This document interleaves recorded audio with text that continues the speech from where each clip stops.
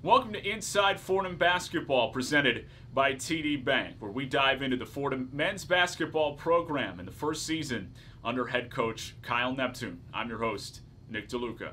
In this inside look, we recap Fordham's non conference schedule with Coach Neptune.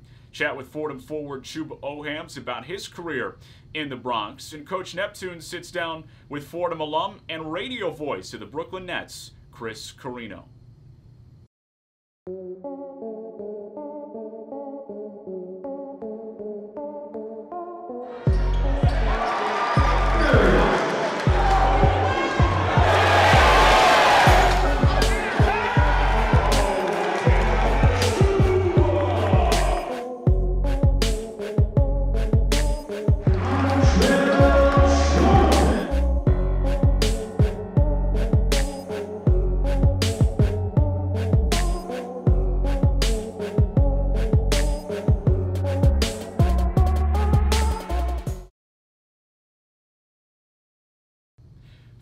graduate forward Chuba Ohams has played parts of six seasons with the Rams, and he's saving his best for last. Ohams is averaging a double double. He's a top 10 rebounder in the entire country, and he recorded the first 20 point, 20 rebound performance by a Fordham player since 2000. He's showing why Kyle Neptune called him one of the best big men that he's ever coached and why his top priority after taking the Fordham job was to get Chuba Ohams to remain at Rose Hill. Here's the Fordham big man on what it's like playing in his hometown, the impact that Kyle Neptune and his staff have had on the entire team, and the mindset heading into his final year coming off a significant knee injury. Check the mic and make sure it sound right, boys.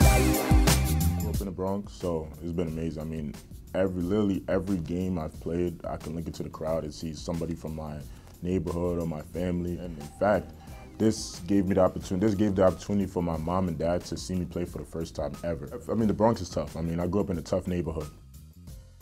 I mean, we're definitely playing like we're a Bronx team and, I, and it's, it's been really it's been going pretty well. That, that was that was one of the main things that this coaching staff came to instill in us, just to play with grit, play with toughness, regardless of the outcome at the end of the day. And it's been it's been it's been showing. That this coaching staff has been amazing. They've pushed me day after day after day. So it'll be like maybe like Ron come see me for film and Trey come see me for film, Ergo pushing you to do this and that, Coach Neptune. And I can go all the way down the list. Those guys have been amazing. The fact that I mean they just they, they regardless of the outcome, they always instill in us just to be tough, be that gritty, be just just to be that team, to be in unit. We are definitely obviously want to win every game. They're, they're not only trying to instill in us to be a gritty team, but it also goes to the off the court. They want us to be great men off the court. They always talk about us being legit, and they always they want us to be the best men we can um, going forward outside of Fordham basketball. We're, at the end of the day, we're at Fordham University, a very prestigious academic school. They, they push us all the time. We have a lot. We have study all basically every day. So I mean, they instill us to get on our academics as much as we're working hard on the basketball court.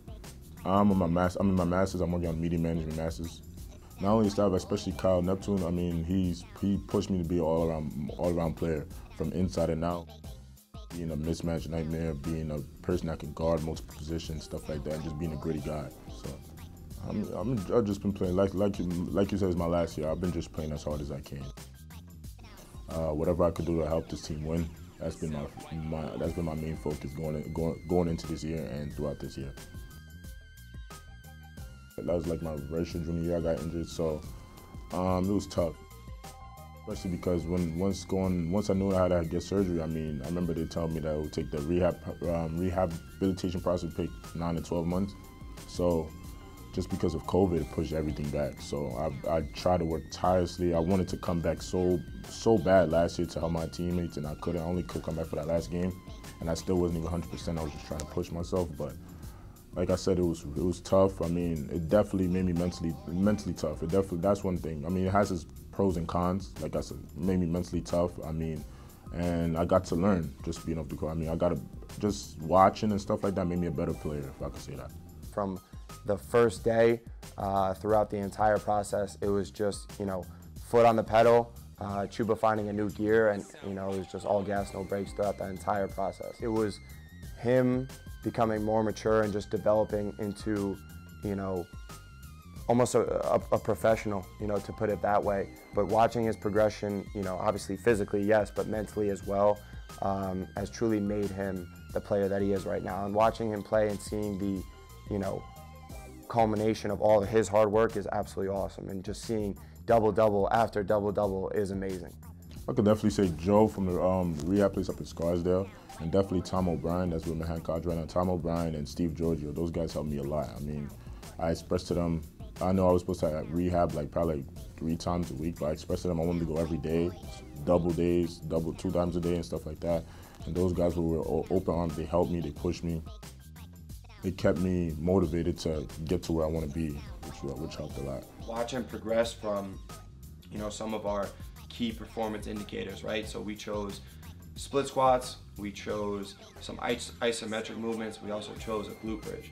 Specifically on the glute bridge, to watch him progress from struggling to lift, you know, 135 pounds five times to doing sets with 500 pounds on the bar for upwards of eight to 10 reps was just a very rewarding part throughout the process my journey is my journey. Like I always tell myself that my journey is my journey. I wouldn't want it anywhere else, any anyone anywhere. So, I mean, I mean, it's been like I said, towards Rocky Road, but it's been great. This last year's been great. It's been, it's been going well. I mean, I'm this is I'm feeling healthy. I'm I'm happy. I'm happy being back.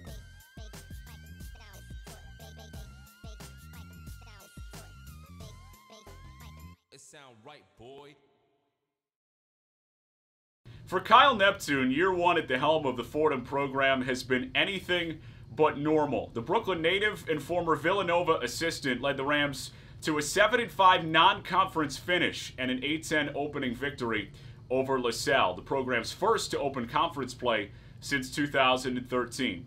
COVID cancellations and postponements have sent the schedule into flux, but Neptune and his staff have kept the focus on being a tough and gritty team that plays together.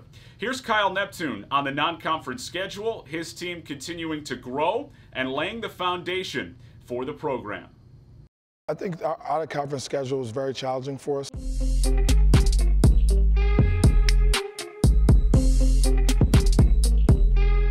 Um, and you know, as a new team, a new program, a bunch of new guys on the, uh, coming together for our first time, um, it was really challenging. Um, just because you know a lot of different personalities, guys were getting to know each other's games, and as coaches, we are getting to know their games. Um, so I think it was a very valuable experience being together, um, especially down in Florida um, for those four or five days we were down there, kind of locked in together, and then going through a, a, schedule where we had a lot of games that were jam-packed, really close together. Uh, I think there was uh, times in the early part of the season where we played the most games in the country. Um, so that was a lot of uh, valuable experience for our team. We learned a lot about ourselves.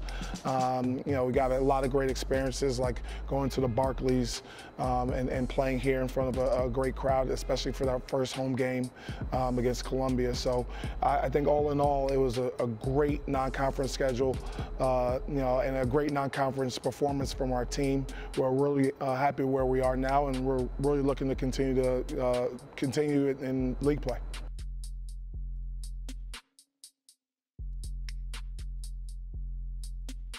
Yeah, I think with A-10 play starting, um, it, we really try to look at it as the same as any other game.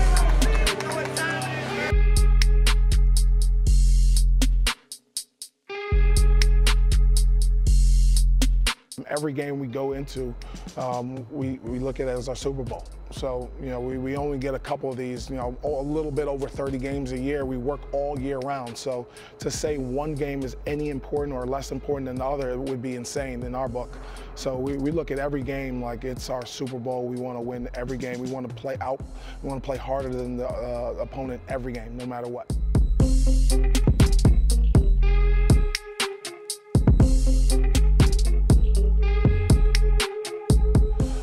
For, for our program, we really want to uh, be a team that identif identity is to defend and rebound every game and play harder than our opponent every game, no matter what.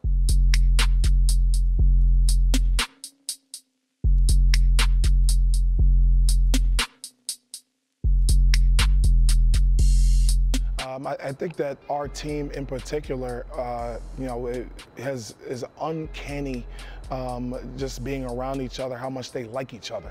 Uh, I think that really resonates in the, in the, on the court because they play for each other. Um, they, are constantly picking each other up and they challenge each other. Um, so I, I, think our team is really unique because um, we have a lot of older guys. Like, you know, the guys haven't really played together as much, but we have a lot of older guys who have been there and been in tough moments um, and kind of have a lot of wily veterans. So um, we're really, again, we're really proud about where we are. Uh, I think we, we're only scratching the surface. I think we can get way better continue to get more organized, um, continue to go, especially on the offensive end. Um, I think we, if we continue to play hard defensively um, and continue to take pride on the defensive end and take pride in playing harder than the other team and then uh, continue to get organized offensively, we'll be in a great spot.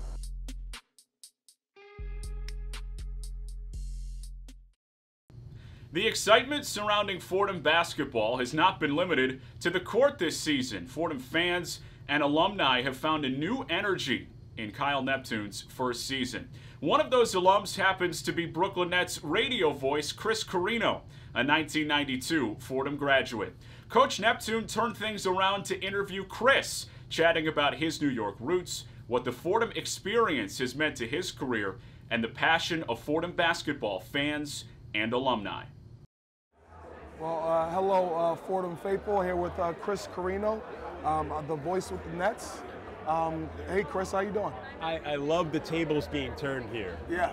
They called me over here. I thought I was going to interview you. It turned out you're interviewing me. Oh, we got you today. We oh, got you today. Awesome. All right. Hopefully Amazing. no. Hopefully no really tough questions. No, no, no. A couple softballs for you. So obviously everyone knows you're the voice of the Nets. Could you just expand on some of the other? Uh, uh obviously, you've had a storybook career. Some of the other things you've been involved with. You know, I've been really fortunate though. I, I, I chose Fordham because it was in New York City. I mean, I'm, I'm a New Yorker. I grew up in Yonkers, and my dad gave me the best advice. He said, Where do you want to work when you get out of school? I said, I want to be in New York. He goes, Then why are you going to go to Massachusetts or Indiana? Go right in the city. And I went to Fordham, and I have been so lucky that I've never had to leave New York. You know, I got a, I got a part-time job with the Nets right out of school. I was interning for the Giants when I was in college. No way. Um, so everything I Chris, do now. I'm going to write this stuff down because I'm going to share this with recruits moving forward. Just so you know, I yeah. didn't interrupt, but just so you know. You know, it, so uh, it, it, all. I mean, there, there are a couple ways you can go. When you get out of school, you could go someplace if you feel you need the reps and you want to get better, or you try and make your connections here in New York if you want to be here. And this is the number one media market in the country. And this is where I wanted to be, so I stayed and I worked behind the scenes for many years. Uh, but I've been getting a paycheck from the Nets in some form, part-time or full-time, going back to my first year out of Fordham in 1992. So that's how far it goes back. Um, you know, then it slowly work your way up. You know, you if if you're a player of the year in the Atlantic 10, you probably get drafted into the NBA. I won an award my senior year of, of college as the top broadcaster in the tri-state area by Madison Square Garden. And I got to do a Knick game when I was still a senior at Fordham. That's amazing. And nobody drafted me first round though. You know, you go to the, in this business, you go to the end of the line. And it took me another six years of working behind the scenes before I got to do play-by-play for an NBA game and then uh, you know, and it just it takes off from there. But it's a grind. It's hard, but I you know, Fordham was absolutely the greatest decision that I made in my life, and it's everything to do with where I am right now. That's amazing, I, and I want to get into Fordham in one second. Uh, before that, I want to ask you, what would you say was the biggest moment um, that you've covered so far uh, in your in your storybook? Yeah, you know, it's what's amazing, you know, as we tape this, I, I did a memorable Nets game uh, the night before where they played with uh, eight players in uniform and they rallied to win this game. And it was one of those games I'll remember for a long time. I, I, you know, I go back to remember some duels that, you know, Jason Kidd and Steve Nash having a great duel in double overtime at, at Izod Center. And I'll remember that for the rest of my life. And some playoff games I'll remember forever. Um, what's great about the job is you show up to the arena or the stadium and you have no idea that you may see something you've never seen before. You may have a moment that everyone in that arena or fans of those teams will remember the rest of their life. There's so many games you do that you forget when you leave the arena, but uh, but you have those moments. So there've been so many. You know, it's funny. I'll, I'll I'll usually throw away my press credential at the end of a game. I know people save them all the time, but if you have like a, a one gamer, I'll throw it away. But when something special happens, I write on back what it was, and I'll keep it. And I go back and I look through them, and I have all these unbelievable games. And I saw Mike. I was courtside when Michael Jordan scored 40 at 40 years old as a Washington Wizard. You know, there you go. That's one of those, right? You know, NBA Finals games I've done. Uh, NFL games I've done where I've done some amazing comebacks and exciting finishes. Um, you know, even just being a fan of the New York Giants as a kid, I got to do their preseason games, and then I got to do a regular season game on Thanksgiving one time. So here I am doing a Thanksgiving Giants game in the regular season. So all those things, I, I don't have one moment where I could say this singles out as the greatest in my broadcasting career. There certainly have been, I mean, I can go through a bunch of them, but just the opportunities that I've gotten in all these games that have added up in 20 some odd years of broadcasting has just been really special. That's amazing. That's amazing. I wanted to take you back a couple years ago, not too far ago, when you were in college. Not too, not too, not too long it's, ago. It's more than I might want to admit. All right, all right. And I wanted to just put you back into college you and just talk to me about what life was like back uh, back then for you, just going through college at Fordham. Well, I'll tell you this first, Kyle, is I know the Rose Hill Gym sometimes uh, people think it you need some big facility or some play in some major arena. When those four years I was at Fordham, I cherished every day that I got to work in the Rose Hill Gym. And that place was packed. I want to see the students pack that place again because I remember how warm it would get in there and how loud it would get in there and how intimidating it was, especially when you got a good team. And we had a good team in the late 80s and early 90s. I- I'm telling you, it, you could have been, it was like being in Cameron Indoor, you know, and I think it can be that again. So I'll just say that right off the bat. But, you know, um, I was a commuter at Fordham. Lived about a half hour away. I commuted to school. So a lot of my free time was spent at basketball practice. You know, Nick Macarchuk was like a professor to me. He would actually come over sometimes to me. He'd see me watching practice. He'd, he'd invited us always to watch practice, and he would come over and and he would just explain things. This is why we're doing this. This is why we did this in the last game. And it was a great lesson I learned because he would always say, I don't mind if you criticize us on the air, as long as I see you coming to practice and you speak to me and you know what we're trying to do. Because if what you say on the air, it's probably right. You know, you know what we're trying to do. So if you're critical, we probably deserve it. So he didn't mind that. And so I spent a lot of time doing that, spent a lot of time at WFUV. Since I lived in the area, I did shifts all summer at WFUV, so I was always around. It was either the radio station or my schoolwork. And the, it's funny because now my sophomore year, I think it was my sophomore year, yeah, they had a really good team. And I was a sophomore and I was doing all the men's games, top men's games. So we go to the MAAC tournament that year. And we were a five seed. Thought we were going to be one and done. Maybe a game. I'd be, I'd be back in time for my, fi- I had finals the next week. Well, we make a run all the way to the MAAC final against LaSalle when they had Lionel Simmons, Doug Overton, Randy Wood. You know, like they was they were they were a top 20 team. And I had to miss all my mid or my final or, like I had big test midterms or something.